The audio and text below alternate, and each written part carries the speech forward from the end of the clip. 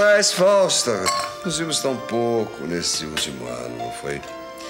Mas eu folgo muito em saber que você continua com as suas garras afiadas. Pronta para dar o golpe. É uma pena que você só me veja assim. É uma falha na sua percepção. Porque eu sou a mesma que aqui nessa casa pediu o seu perdão e queria começar tudo de novo. Hum, se não me engano, eu lhe disse que eh, aquele tipo de vítima que você fazia não lhe ficava bem, que gostava mil vezes mais daquele ar de ironia, porque era muito mais, eh, digamos assim, emocionante. Hum.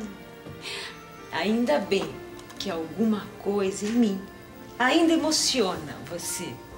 Fausta, eu não sou um homem rancoroso, entendeu? O que acontece é que ficar longe de você, para mim, é uma coisa que facilita muito a minha vida.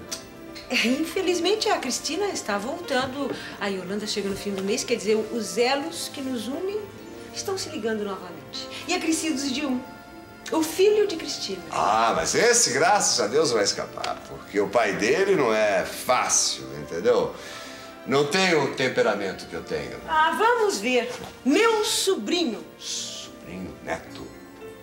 Neto, Fausta. Isso significa que nós já não temos mais a mesma energia de outrora, não é? Portanto, precisamos poupar essa energia para poder viver em paz o resto da vida.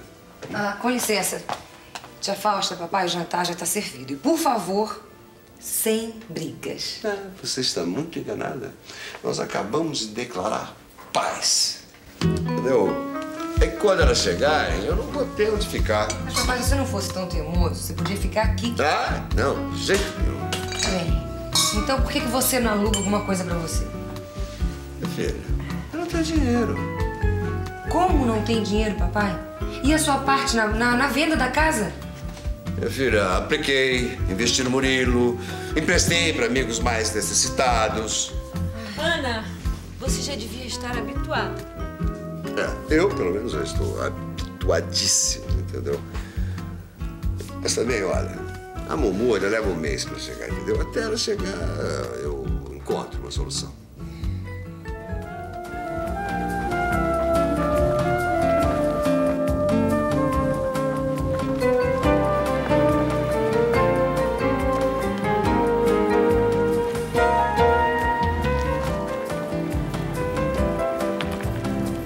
Ué, você não vem com a gente? Não, eu não vou não.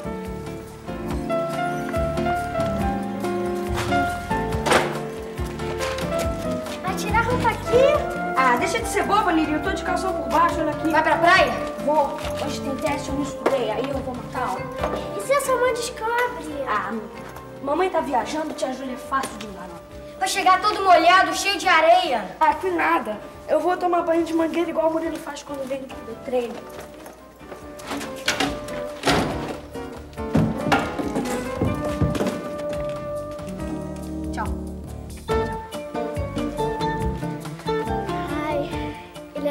Corajoso.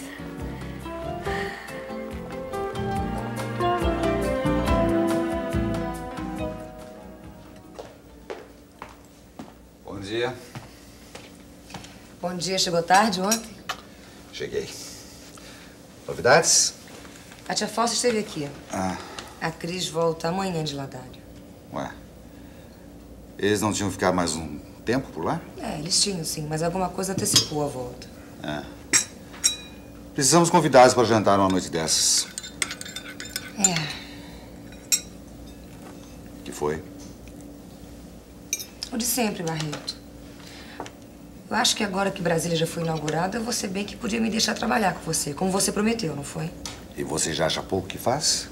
Ser minha mulher, receber meus amigos, meus clientes, me acompanhar. Acho. Acho pouco sim. Eu acho que eu tenho tanto tempo livre. Eu acho sem sentido não, não fazer nada, Barreto. Talvez devêssemos ter um filho. Um filho? É, um filho. Nada mais natural depois de um ano de casados que ter-se um filho. Hum? Muito bem. Preciso ir. Pense no que eu lhe disse. Você não vai comer nada? Eu estou atrasado.